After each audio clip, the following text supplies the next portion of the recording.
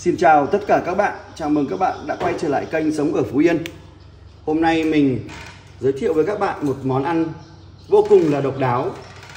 Đó là món vịt nấu sake các bạn ạ. Đây là trái sake. Mời các bạn cùng thưởng thức món vịt nấu sake với mình. Các bạn ơi, mình đang làm món vịt nấu sake đây là một chậu nước. Mình cho một chút muối và vắt chanh vào các bạn ạ. Đây là trái sake. Trái sake các bạn nhé. Trái sake này ăn rất là ngon. Như trong một video mình đã có chia sẻ vui rằng là ở Phú Yên gọi trái sake này là sa cơ đọc từ địa phương các bạn sa cơ là sa cơ lỡ vận á, cho nên là người ta ít trồng trái sa cơ này ở trước nhà. Thực tế ra là quả sake này ăn cực kỳ ngon các bạn nhé. Kê này nó rất nhiều nhựa các bạn ạ. Bây giờ mình đang chế biến để làm sao cho nó không còn nhựa nữa. Nhựa nó giống như nhựa quả mít ấy các bạn ạ.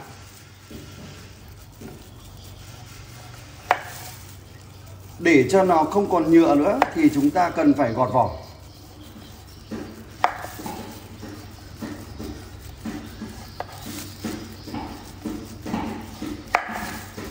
và ngâm vào trong nước muối này các bạn nhé. Trái sake tươi xanh như này nó có mùi vị thơm thơm các bạn ạ. Chúng ta gọt, bỏ cái lõi ở trong.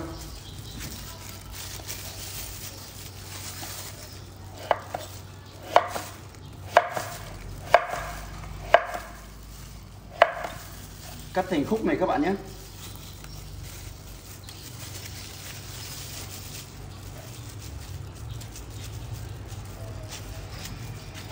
Mọi người đang xem mình làm món vịt nấu sake.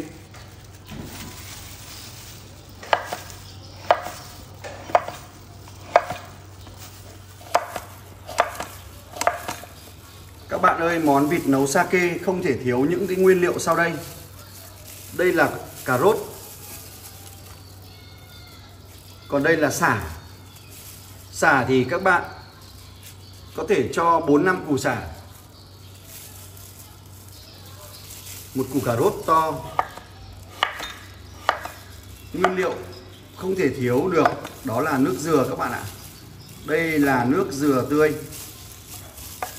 Nước dừa tươi các bạn nhé. Tất nhiên không thể thiếu được vịt. Vịt các bạn làm sạch. Và đây là lạc các bạn ạ.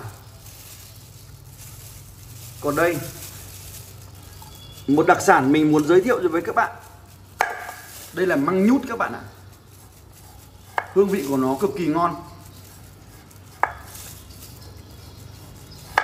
Măng nhút các bạn nhé.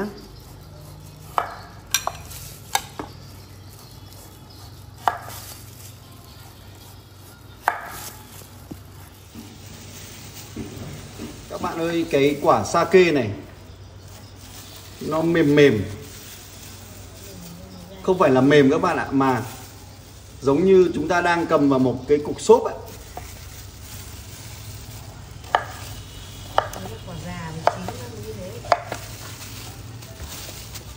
Những quả già và chín thì là nó như vậy các bạn ạ.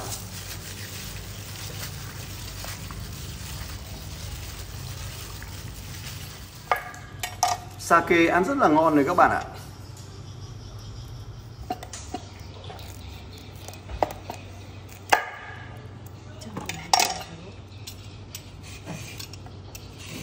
cà rốt mình sẽ dùng nửa quả, nửa củ các bạn.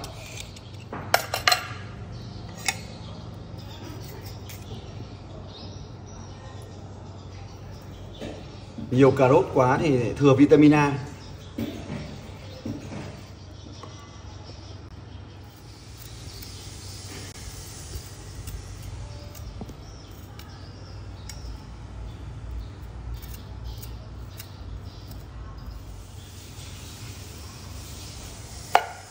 chúng ta đang làm củ gừng các bạn ạ. Thái đập dập ra các bạn.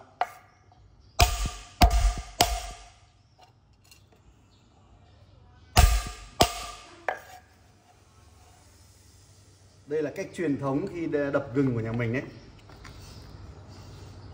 Không cần phải dụng cụ gì hết, cho nó vài dao là nó dập ra thôi.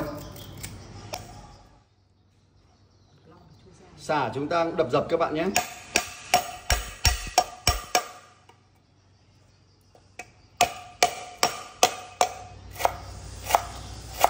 Sau khi đập dập mình thái, xả ra các bạn nhé. Thái ra để mình phi. Cho một vài củ hành củ vào các bạn ạ.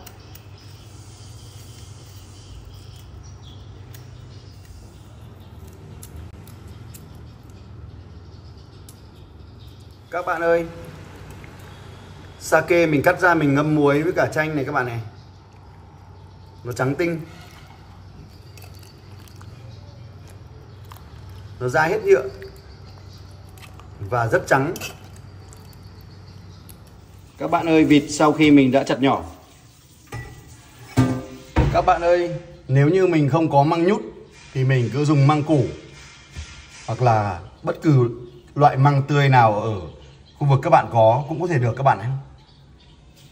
Và cũng như vậy, nếu như ở chỗ các bạn không có sake, các bạn có thể thay vào khoai lang hoặc là khoai môn. Những loại khoai mà ở khu vực các bạn có đều có thể nấu được món vịt này các bạn ạ.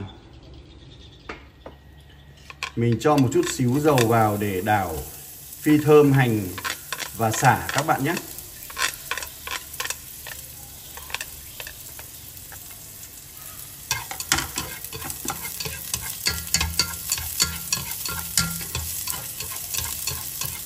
Làm đến món vịt thì mình lại xin nhắc lại với các bạn cách chế biến để vịt làm sao không hôi, không tanh các bạn nhé.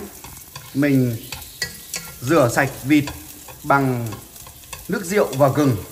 Các bạn ạ trà muối, sau đó cắt cái cục hôi ở phần đuôi của con vịt. Và chúng ta rửa sạch hai lần hoặc đến khi nào mà mình cảm thấy nó sạch, nó không còn mùi hôi nữa là được các bạn nhé đấy là cách để làm sao vịt không hôi không tanh. Gia vị khi phi thơm lên, mùi thơm vô cùng quyến rũ, hương vị này thực sự là hấp dẫn các bạn ạ.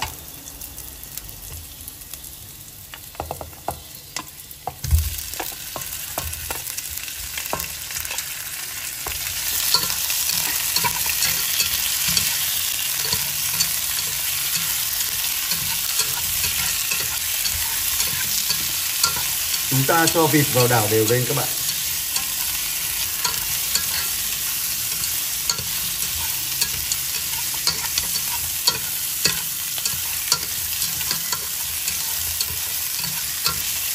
Vịt này nhà mình lượng vịt cỏ các bạn ạ. Số lượng vịt thì các bạn tùy theo lượng người để mình cho ít hay nhiều mình cho vào các bạn nhé.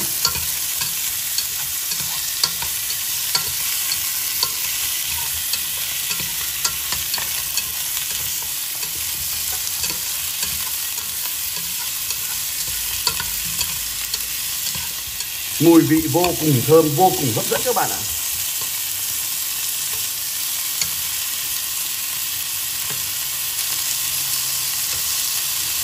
Công đoạn sơ chế vịt rất quan trọng.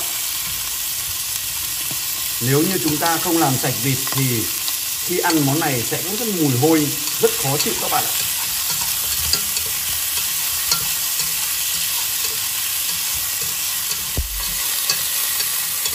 Chúng ta đảo xăng cái vịt lên các bạn nhé. Cho ngấm gia vị.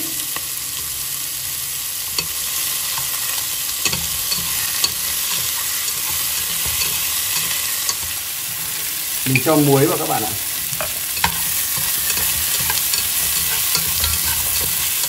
Nấu món này thì sẽ không phụ thuộc vào thời gian nấu. Ý của mình là các bạn cần phải để ý xem là vịt các bạn mua là vịt non hay vịt già. Vịt non thì các bạn đun làm sao cho vừa chín. Vịt già các bạn cần phải đun thêm. Các bạn cần phải xem khi nào vịt được. Đừng để đun nhừ quá, ăn sẽ không ngon vừa chín tới là được. Mình cho măng vào các bạn ạ. Cả lạc vào, đảo đều lên các bạn nhé. Măng nhút có một vị rất là thơm và ngọt các bạn ạ.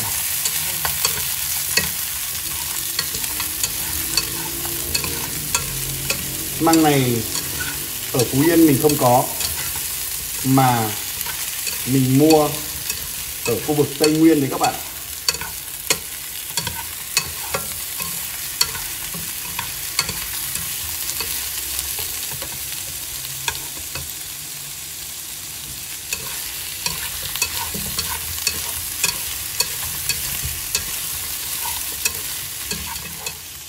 Các bạn đảo, đừng cho to lửa quá các bạn nhé. Để cho nó có thời gian để nó còn ngấm gia vị vào trong thịt và măng, cũng như là vào lạc.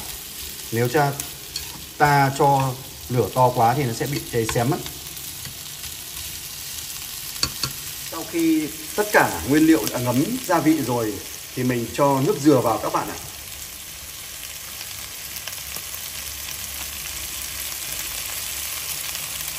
Một món ăn vô cùng hấp dẫn. Đơn giản, thời gian làm rất nhanh các bạn ạ.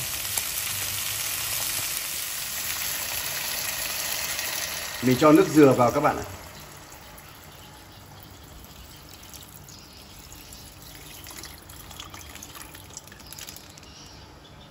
Ta đun à, lửa liu riu các bạn ạ.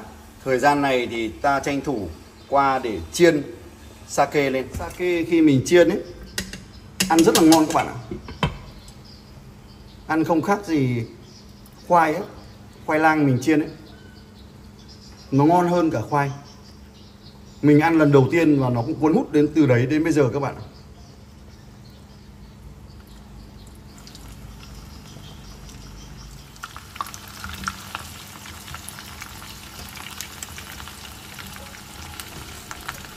Sake này mình chiên xong mình cho vào, mình đun để ngấm gia vị là mình bắc ra luôn, chứ không phải là mình đun để ninh nhừ sake đâu các bạn nhé.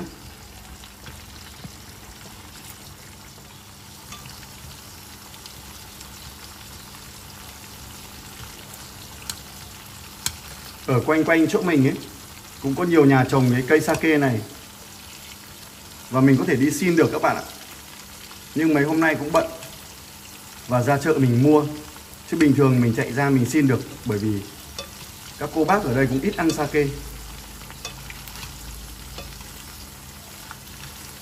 Thường thì món này sẽ ăn ăn chay các bạn ạ các cô bác thường ăn sake là là những món chay. Khi nồi vịt đã sôi, ta cho xả và đun liu riu nhỏ lửa các bạn ạ. Ta chiên vàng trái sake các bạn ạ.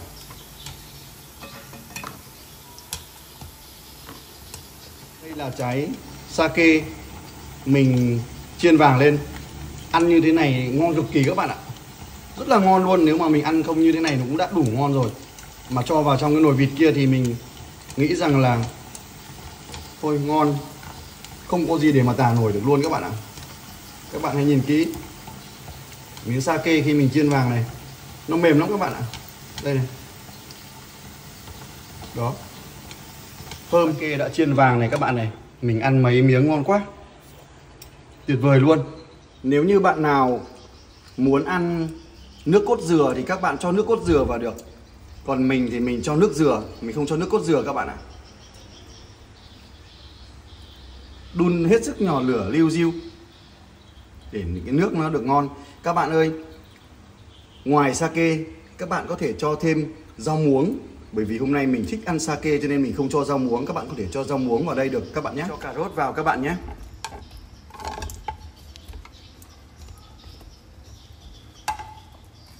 Và lại tiếp tục đun. Các bạn ơi món ăn của mình đã hoàn thành rồi đây. Bây giờ mình cho sake vào các bạn ạ. Vịt đã mềm mình cho sake vào. Mình chỉ đun để cho nước ngấm vào cái sake thôi các bạn chứ không phải là mình đun nhừ sake đâu nhé. Còn à, các bạn có thể ăn nhừ hay như thế nào đó thì tùy các bạn. Nhưng khẩu vị của mình thì mình chỉ đun để cho cái nước vịt nó ngấm vào sake là mình bắc ra mình dùng thôi các bạn ạ đun chừng 5 phút. Cũng không nên quá. Như vậy là mình đã hoàn thành, cơ bản hoàn thành cho các bạn một món ăn vô cùng hấp dẫn. Đó là vịt nấu sake và măng nhút. Măng nhút là một đặc sản của vùng Tây Nguyên đấy các bạn ạ. Măng nhút rất ngon, sake cũng rất ngon và vịt. Phú Yên, vô cùng ngon các bạn ạ. Sau khi sake đã ngấm gia vị, đủ ngon, mình cho hành. Mình cho hành vào các bạn ạ. Các bạn có thể cho mùi tàu hoặc bất cứ rau gia vị gì nơi các bạn có và các bạn thích ăn, các bạn có thể cho vào các bạn nhé.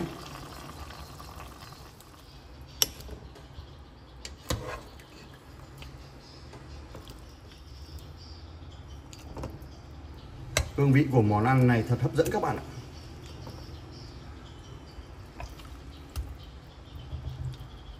Xin phép các bạn để mình thử xem là những cái hương vị nó như thế nào để mình tả lại cho các bạn nhé. Sake này mang nhút này. Ba cái hương vị chủ đạo đấy mình sẽ trải nghiệm để xem tả cho các bạn cái hương vị nó ngon đến mức độ như nào các bạn ạ. Hôm nay mình ăn với bún các bạn ạ. Sake này các bạn này. Uhm. sake có vị bùi béo hòa quyện thêm mùi thơm của lạc các bạn ạ. Đây. Tất, tất cả những cái hương vị của món ăn nó đều tụ hết vào trong cái miếng sake. Mình thử miếng lạc các bạn ạ vẫn ngon như ban đầu. Thơm mùi măng nhút các bạn ơi. Mình thích măng nhút ở cái điểm là rất là ngọt, các bạn ạ. Làm với món này nó lại càng làm thêm, tăng thêm cái hương vị ngon ngọt của cái măng nhút. Còn đây là vịt của Phú Yên đấy các bạn ạ. Uhm. Mai các bạn làm đi. Làm luôn và ngay cho mình cái món này đi. Ngon lắm các bạn ạ. Các bạn, mong các bạn, nếu thấy video của mình hữu ích xin các bạn hãy chia sẻ và đăng ký kênh cũng như ủng hộ mình bằng một nút like để động viên và mình sẽ cho ra những clip hấp dẫn hơn trong tương lai các bạn nhé. Xin cảm ơn và chào tạm biệt các bạn.